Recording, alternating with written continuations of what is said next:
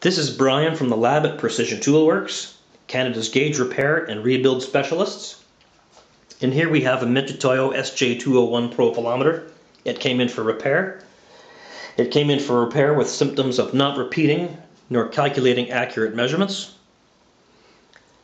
As you may see, the customer has opted to remove the skid from around the end of the detector while this does allow you to get in minutely smaller areas, it does make it more difficult for setup.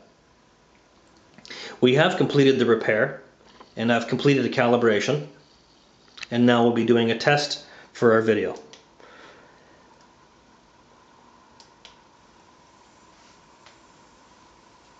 And as the detector travels back into the driver unit, I will let you know that our sample is set to 122 microinches in RA.